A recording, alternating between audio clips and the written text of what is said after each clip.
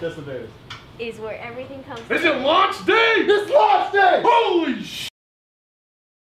IREC might be the most fun competition that we've ever been to.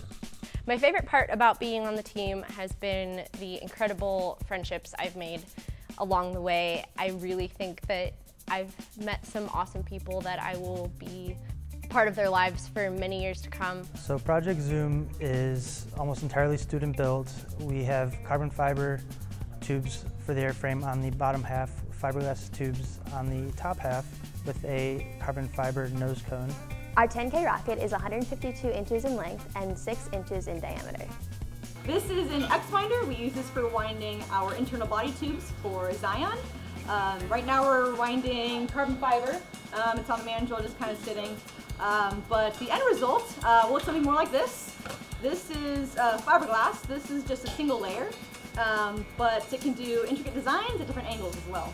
Uh, The altimeters we are using for the 30K rocket will be a Stratologger CF and a Raven 3 altimeter. And for the 10K, we are using two Stratologger CF altimeters. One of the things that makes our team really unique is that we make our own parachutes. They're student designed, sewn, and tested.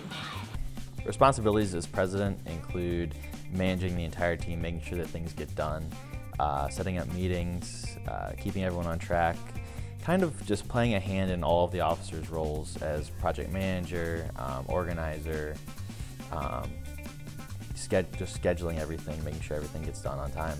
Uh, because you are the face of the team and you have to speak to every mistake we make or achievement. Firing in three, two, one, ignition.